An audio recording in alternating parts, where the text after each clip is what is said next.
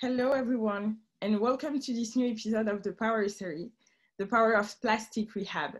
Today, Positive Luxury's co-founder and CEO Diana Verde Nieto will be in conversation with three amazing uh, guests. Uh, Tom Kay, um, the founder of Finisterre, a sustainable outdoor clothing brand inspired by the love of the sea. Uh, Sian Sutherland, a serial entrepreneur and co-founder of A Plastic Planet, a social uh, impact NGO dedicated to reducing single-use plastic.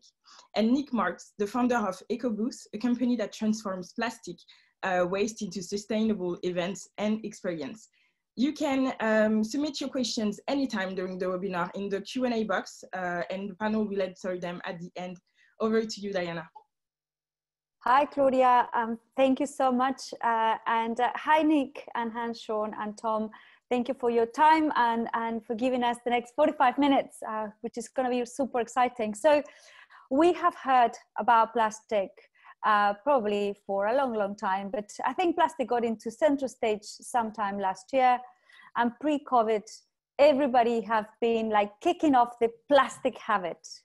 Now, obviously, we kind of fast forward for the last four months and somehow we all have to go some back onto rehab because some of us, I'm also guilty, have taken um, some of those plastic habits that we had before. Um, so, I mean, obviously, this is a this is a global uh, topic, not just something local. And I mean, the three of you, in different ways, have been pioneering this movement. So, I'd like to start with uh, you, Sian. So, tell us a little bit more about your work at uh, Plastic Free Planet. Plastic Planet, actually. Yeah, Thank you, Diana, and uh, hello to everybody. Yes, so I, my name is Sian Sutherland. I'm co-founder of A Plastic Planet, and uh, we are. It's funny, I don't really call ourselves an NGO. We are uh, a pending because I'm a big believer in the B Corp, and I know Tom will talk about that later. Um, and we we've uh, created a different, what we wanted to be a different kind of organization that really wanted to ignite and inspire business from inside rather than perhaps the original activist model, which was about attacking business from the outside. So we started three years ago, you know, myself, an entrepreneur, massive plastic sinner. I cannot tell you how much plastic in my various businesses I have personally pumped out into the environment, wasn't on my radar.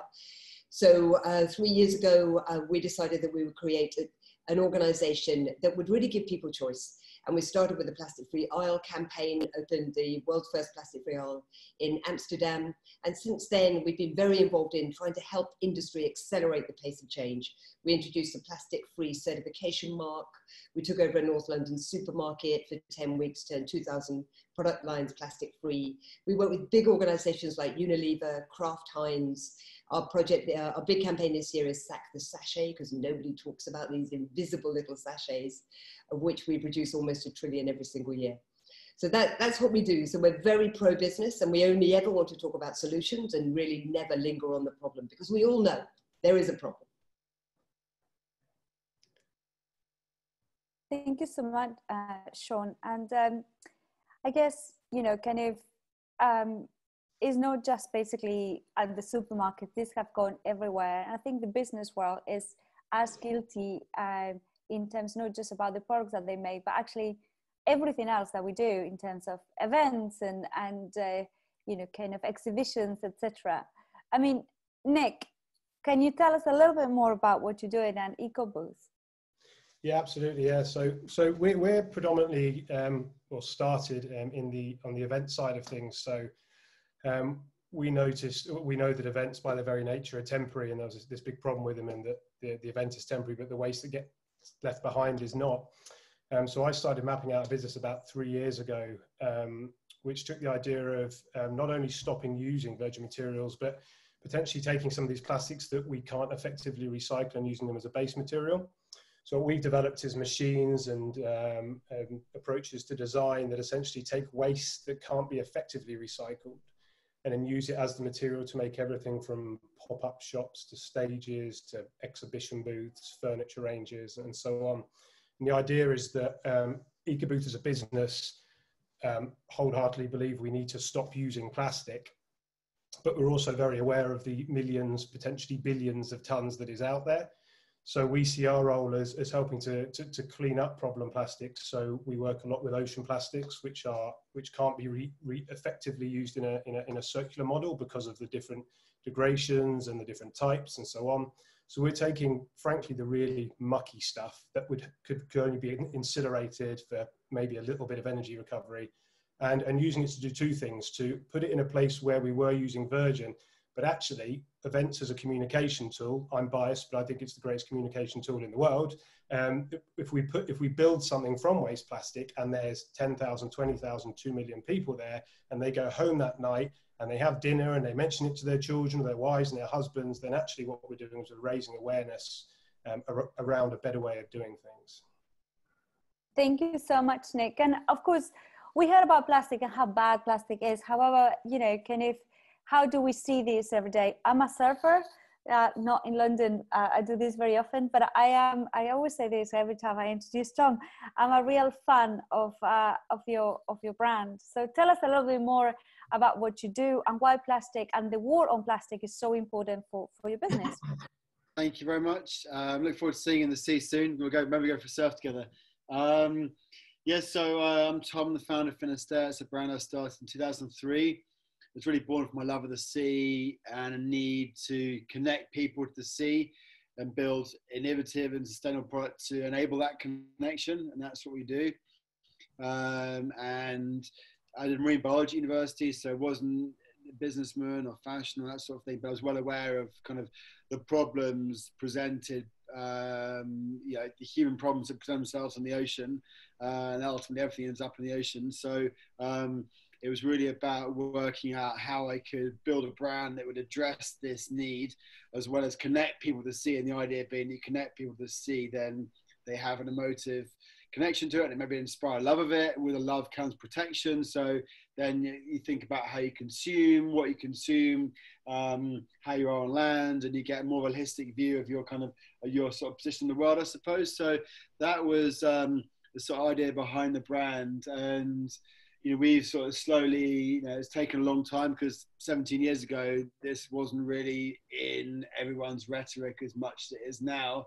Uh, but we've been, you know, really fighting to eliminate single-use plastic from our supply chains. All our bags are marine biodegradable that the products are out in, and I think it's you know it's, it's it's quite hard to totally eradicate plastic from our lives. You know there isn't there is some things there's some some parts that you need you, know, you do need to have that sort of function by form by um, it's where you can replace what has gone before with a more responsible um, circular model in terms of you know how you use it. Thank you very much. And i think you, you said it is like how we can actually have a different way of thinking and this circularity yeah. side of things. Um, and i'd like to go to to you sian because you know what you do is you, you talk about this circularity model and I will, I will go as far as saying we need to move from circularity to regenerative as well. So the world has changed and i think it's going to change again. Um, we are about to enter probably one of the biggest recessions that has been known to humankind. So what does the world look like uh, in the next you know uh, i would say six to uh, 12 months and uh, and beyond? And what are the emerging trends that that we are seeing or that you are seeing um, in the industry? Because i think that in the name of sustainability companies can do unbelievable cost savings um, and be great for them and for the planet. So, w- what are those uh, mega trends or, or, trends that, that you are seeing emerging, um, specifically on plastic, but in general as well? I think what, what we've definitely seen is with the massive ramp up in the use of single-use plastic, particularly around PPE, but everything, everything has really reverted back to using this old, you know, dinosaur material so through fear, we have quite understandably at the beginning of lockdown, we reverted back to using material of old, even though we know that we are creating this toxic time bomb for our, for our very near future through the misuse of this indestructible material plastic. So it's almost that the pendulum has swung so far back and what we need to make sure is it will, it will swing back, and we all collectively need to make sure there is significant momentum behind that swing back. And the things that I'm very encouraged by is just seeing that some of the plans that perhaps, perhaps um, city authorities had, like, you know, you hear Milan saying we're about to dedicate 35 kilometers of our inner city space over to cyclists and pedestrians. We used to call it Plan 2030, now we call it Plan 2020. So I'm loving the fact that sometimes now we can see this new future rushing towards us at a completely different pace. And we need to make sure that this new future does embrace a care of nature as well. And uh, the other thing that I'm very encouraged by is to see two major Northern European cities, capital cities, adopt the donut economic principles for the way that they will regrow their, you know, regenerate their economies post COVID. And when you're talking about regenerative economies, beyond sustainability and when you're talking about equality for people and the planet. And I think the way that Kate Raworth has devised that very simple motif of the donut for us to think about things in a completely different way, no longer in this unsustainable, everlasting growth model that we all know is impossible, but thinking about things in a different way, thinking about not just growth, but thinking about thriving. So those are the real positives to me that are, I think if we, if we push hard, it's all going to have to come from governments. There is, there is a limit to how much industry can do. We cannot expect industry to police itself. We do not all have industry, you know, people in industry like Tom Kay, we wish we did. Uh, it's going to have to come from the top and that's where government has to step up now. Nick, do you agree with that? Do you think yeah. that business cannot be a force for good? Absolutely, yeah. I mean, we're EcoBooth are a B corporation, so you know everything we do is is based on that principle. I, I think as well, the first point is very right. What we're seeing with PPE um, is uh, it's kind of like um, a horror story all over again. If we need something, um, if we need lots of something and we need it fast, we turn to plastic. We turn to single-use plastic, and we turn to it without thinking um, about the consequences of, of where that plastic's going to end up when we're done with it. Um, so I think that's the negative from this, but I also think that there is a huge positive, and I think that um, the conversations I'm having. So we work with big brands, um, and the conversations we're having with them is this downtime is being used to focus on one thing more than anything else, and that's building back better. Um, so stuff which there, there are big brands who we talked with before who said we are going to do this. Give me a month, give me two months, give me whatever. We're just in the middle of a 300 event campaign, and now what's lovely is we've give them a bit, give them a bit of time to get back from furlough, and then said, "There's no better time than now to talk about this. You don't have any events until next year. we're all sat here, we're all doing webinars, we're all talking about this, and so these conversations now are actually really good. Um, you know, we, we know that again pre this, when, when when we go all the way back to the the launch of the SDGs, Forbes or whoever it was was talking about businesses um, finding solutions being an $11 trillion opportunity. I think there's been other stuff that's come out this week again about green recovery on the back of this. Um, so I think in, in a very strange way, um, that there is some, some positives to take from this. Um, but that doesn't help uh, when you sort of go into work in the morning and out the front of our production facility is masks and gloves in puddles. No, I uh, I totally hear you, and I think you know the business of the future not yet has been invented, and they will be towards this green recovery. And uh, this is some of the conversations that we're having at Positive Luxury now. It's like uh, getting together people from CEOs uh, and and and, and uh, people from the marketing world all together uh, and start having and not from fashion or, or, or beauty just from completely different industries to start talking about what this you know building back better means and what we can learn from each other to to actually start creating jobs that no yet has been existing existed. Um i mean tom what about you? Because you know in your business this is if you if we don't sort these problems out you have no business because we have no oceans um, that we actually would like to surf on. Um, so, how do you tackle this, uh, and what are you seeing? So, just remind me of the question again. Sorry. The question was, uh, what do you think the world will look like, and what emerging trends do you see coming through? Um, I think you know, from my, from my point of view, I think there's just been in this you know lockdown period, and since the pandemic struck, there's been a real any trends that probably have been there have been accelerated. So there's an increasing conversation that brands and businesses are having with their community. There's an increasing uh, role of these brands and businesses to play their part in uh, any way um, solving the you know environmental crisis or the humanitarian crisis, whatever it is that's going on. There's there, you know whatever the the brand is set out to do, the, the, these have become more and more important. And you know, we've always had a purpose, and I think it's it's great to see you know a real galvanizing of um, you know businesses really thinking about why they're here, apart from being a business and you know and that's sustainability it's innovation it's culture it's uh, black lives matter it's all of these things which uh, you know what is the role of your business or your brand at this point in time and how are you going to uh, convey what you're doing in an authentic way to your community? That's great. Thank you. Thank you so much for that. And and i mean I, i'd like to stay with you. What do you personally do in your business to change the status quo? Yeah i mean i think you know it's, it's potentially a very daunting um, question. And you know listen you can't fix everything you know so it's kind of you've got to pick your battles and if you know we we're still a relatively small business um, but we ultimately are you know very much believe that we have the power to affect change. And that goes right the way through our supply chain. You know we work 17 years uh, demanding recycled fabrics better uh, transparency you know which we convey to our customers we did a collaboration with Vans uh, Footwear, which is one of the most iconic, biggest footwear brands in the world, uh, last autumn. And we actually pushed them to make their most sustainable range of shoes they've ever made. There's three styles.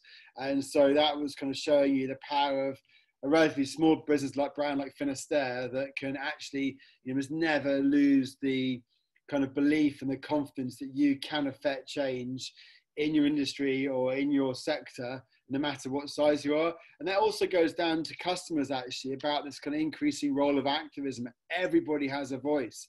Everybody has a consumer spending ability, and how you choose to air that voice, how you choose to ask questions of business or brands that you're buying from, and deciding whether you do or don't want to buy from them is is never been more uh, relevant or easy with social media. So you know you have to you know as an individual, if you're not listening to this, you're not a business or a brand, everybody can play their role in asking the right questions, demanding this change that needs to happen.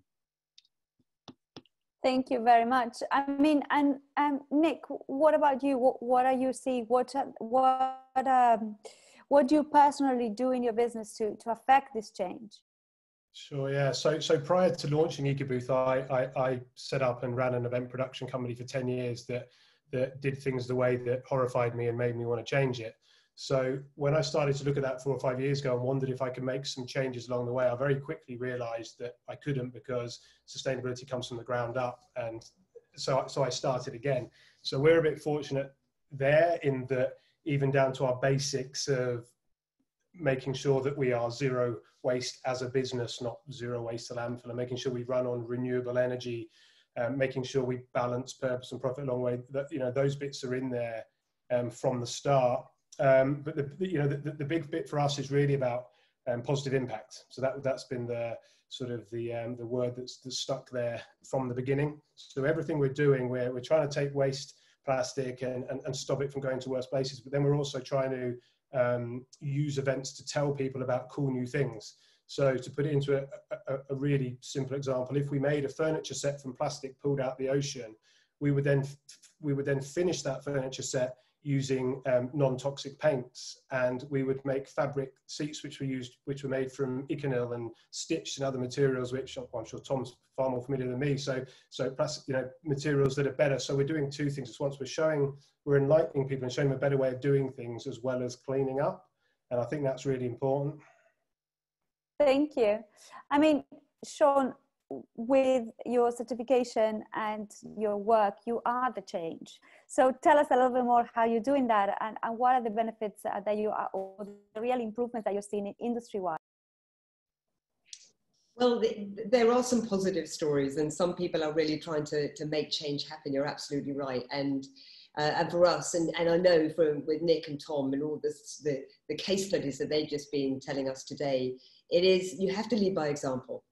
And one of the things that we want to do, obviously with the plastic free aisle and then our North London supermarket, even our plastic free PPE. You know, Nick just referred to this, this horror of the amount of plastic that we're seeing everywhere. And we thought rather than complain about it, let's produce something that is 100% wood based. So this is cellulose home compostable. So if it does end up in the environment, it does, it's not going to have that level of indestructible toxicity that all this plastic PPE is going to have.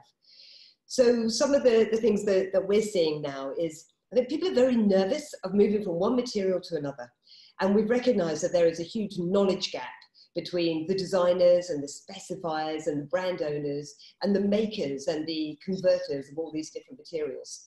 So one of the projects that we've been working on, and actually lockdown has been a little bit fortuitous for that to give us some, some headspace, uh, is developing the world's first uh, platform, a connection hub to connect the designers and the makers together. So we, we've been working with IBM to create the world's first connection platform, which is a library of all the world's materials with lots of case studies and interesting reference because people really need to know yes i mean algae what an incredible material but how can i use it?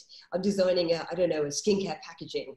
How can i actually use it? So to be able to go to a resource library and see you can combine it with pulp and this is the qualities that you'll get. And here's the impact of that because of course everything that we take from the planet will have some kind of impact.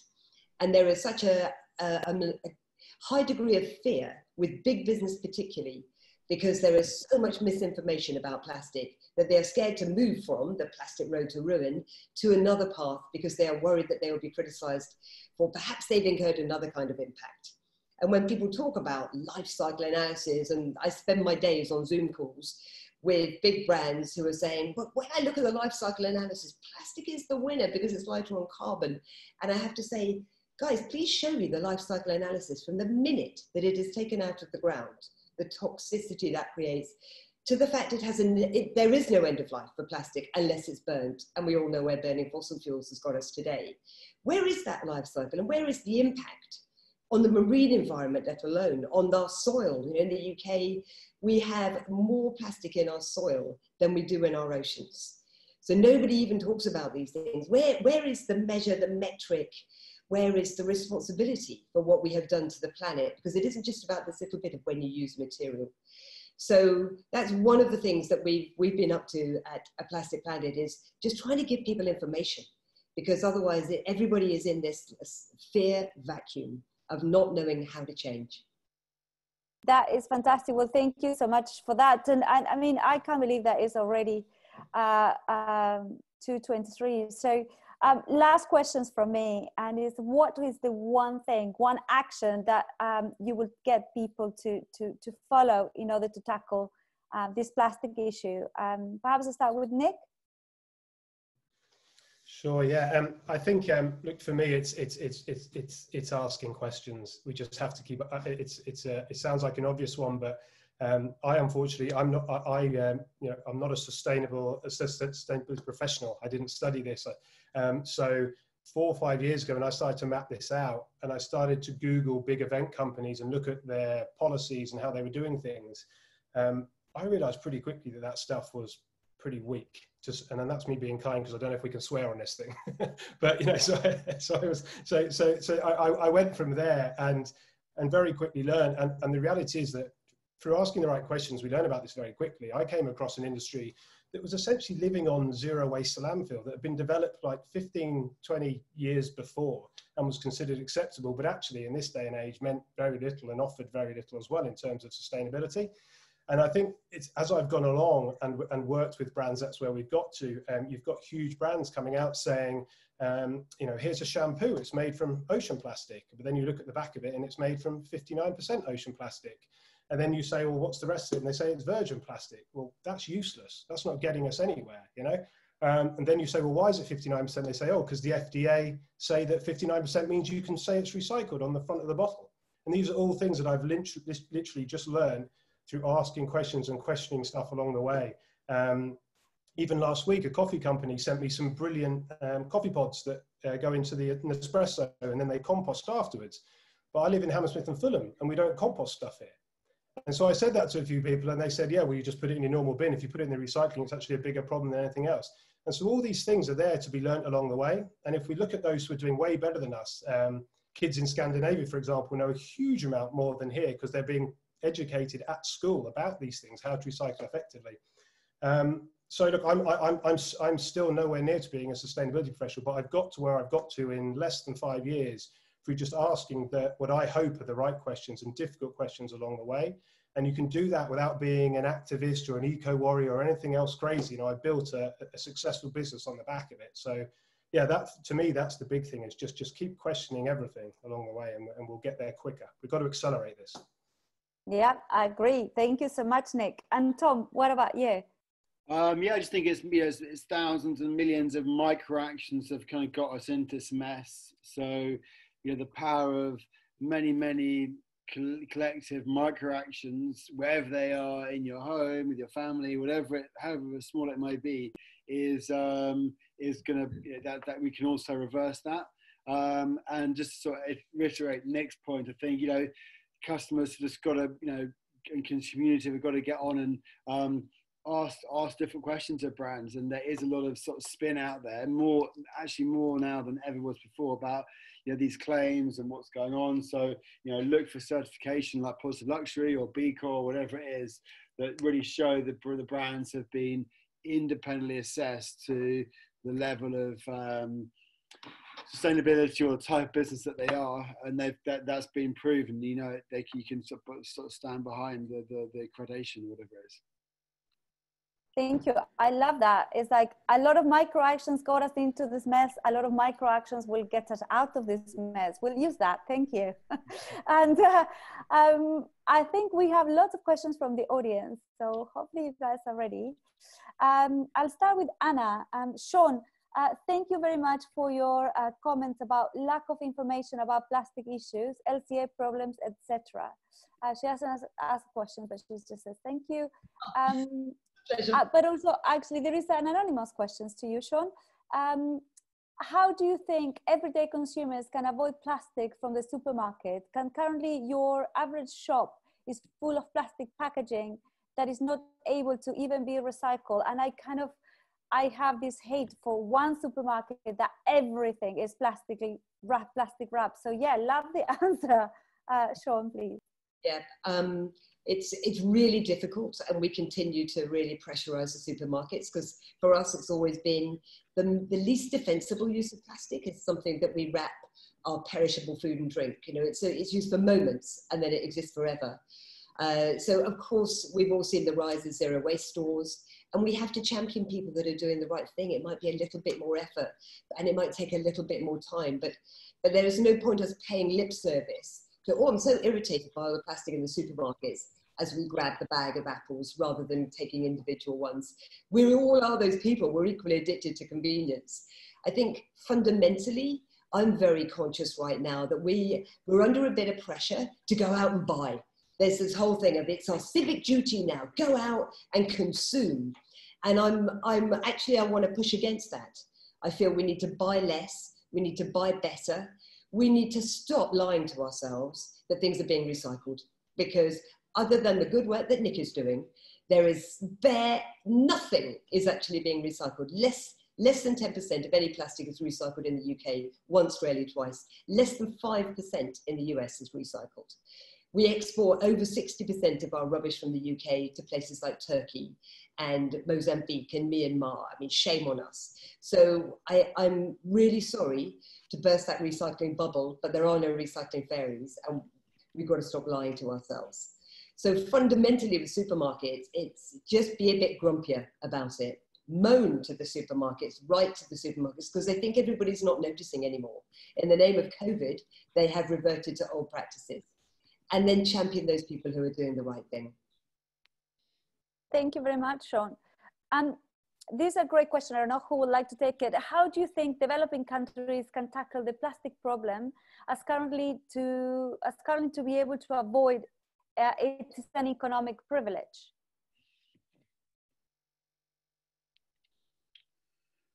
Who would I, like to take that?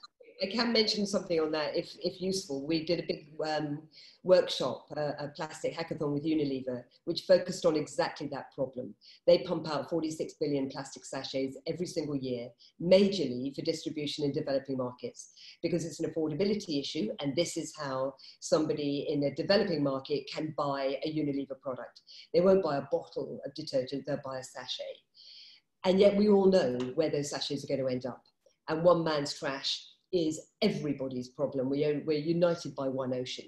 So for the last 12 months, we've been working with Unilever to try and change that. How can we have a sachet that it is properly biodegradable, even in a marine uh, environment? Or is there a whole system where we can have no packaging at all, where it can just have some kind of biomembrane? So there is nothing to throw away.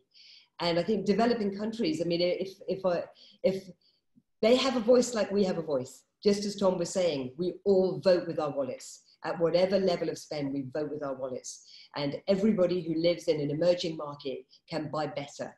We do not have to aspire to these Western brands that are simply pumping plastic upon us. Thank you, Sian.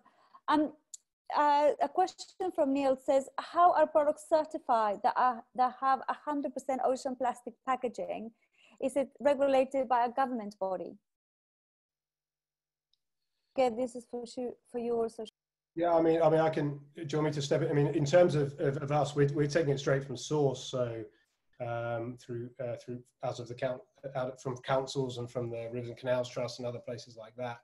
Um, in terms of the actual products we're finishing with um, at EcoBooth, when we just developed this model, um, the go-to really is, is, cradle to cradle. Still, in terms of adding adding new things to stuff. So when we're when we have a, a company come to us and say we want to make this uh, this this this catwalk and we want it to look like this and this and this and then we look at the products that we can make from waste and the stuff that we need to use virgin that's when we turn to, to cradle to cradle. Um, so that would be my but in terms of a, a certification um, that says this has come out of the ocean um, there yeah this doesn't exist yeah, there's very little standard certification. Made out of Plastic Planet, as you mentioned before, Diana, we have a plastic-free certification mark, but that means any kind of plastic. You know, whether that is a, a non-compostable bioplastic or a fossil fuel plastic or a recycled plastic, you know, it, it's all plastic to us. Um, so then it, it is a mark that sits on the front of packaging that simply re reassures the shopper in that moment they have in a supermarket aisle that we've done the due diligence with our materials experts, and this pack is 100% plastic free. Yeah, there, can I just add? There's one other quite interesting there, which might be worth throwing in, is that what's been interesting over the last few years is you've had this surge in um, ocean awareness, and Tom, I'm sure you've come across this. Is there's there's now becoming a, a marketplace for, for ocean plastic, and one of the most popular phone calls to the inquiries phone at EcoBooth is, "Hi, I'm so and so. Can you tell me where you get your ocean plastic?"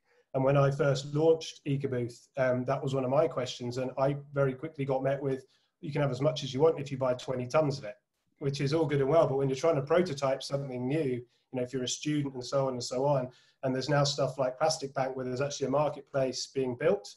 Um, I'm not going to give an opinion on whether I think that that's right or wrong, but it's a, it's, it's a, it gives you some idea of um, the, change that is that, that is being made to that over the last few years as, as a result of awareness.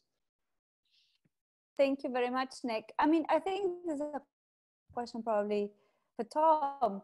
Uh, this, is a, um, this is a question from a consumer to brand owner. What do you think I, uh, what do you think I can do to pressure my favorite brand to be more responsible with plastic? I've mailed several times and I called others, but I had no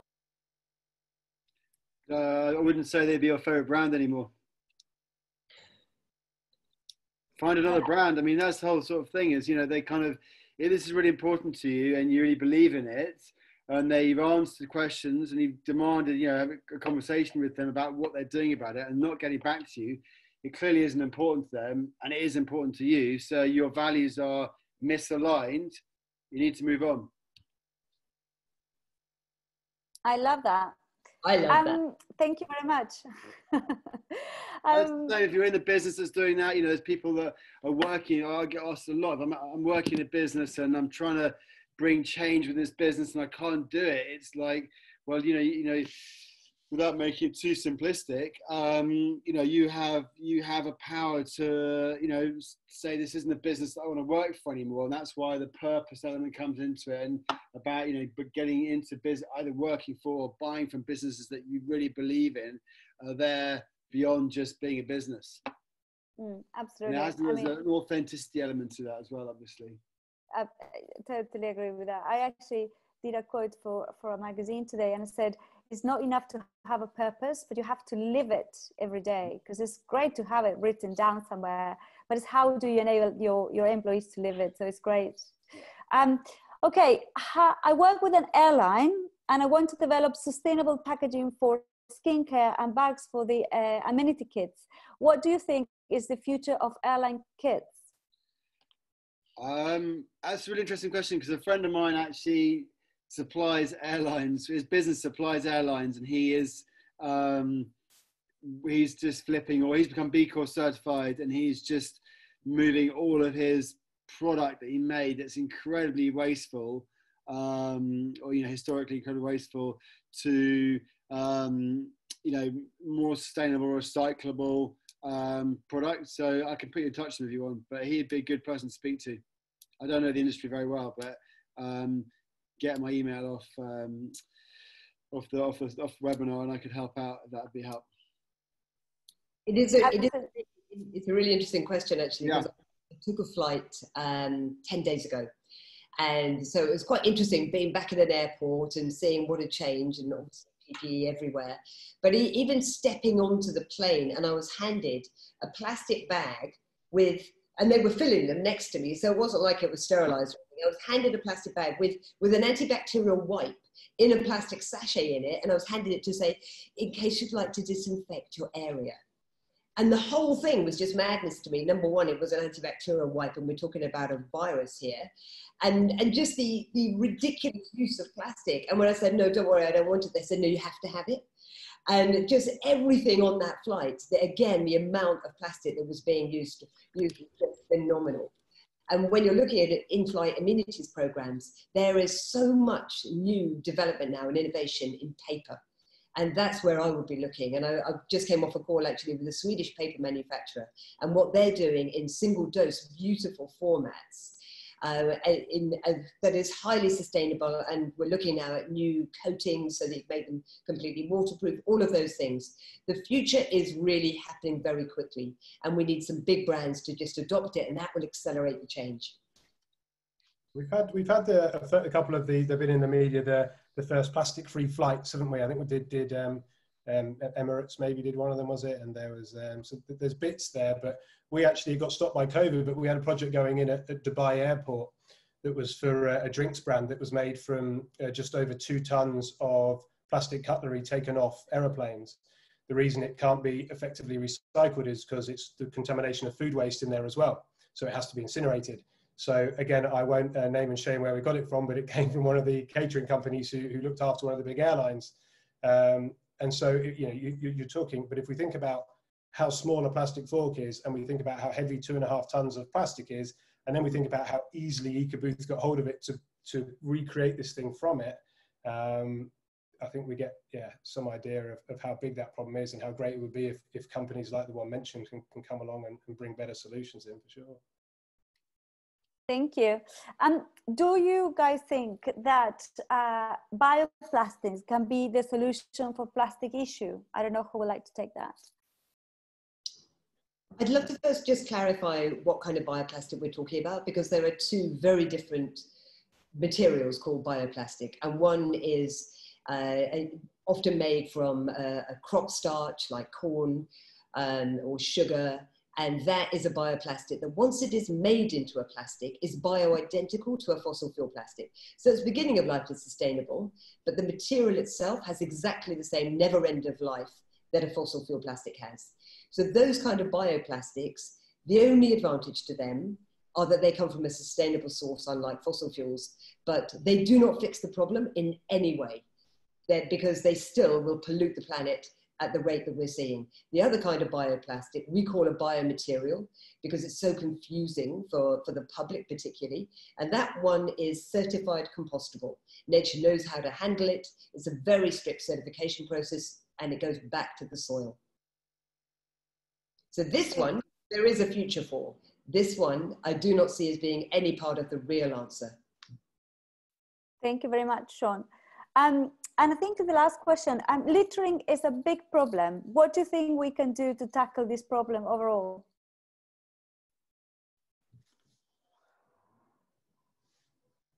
Um, I mean, all that stuff after the lockdown sort of eased, you know, that first weekend when there's always tons of plastic, oh, you know, rubbish. But you just got to, I mean, look at countries like Canada or a place like that where you get fined $200, whatever, for dropping a cigarette butt, and they don't have that problem.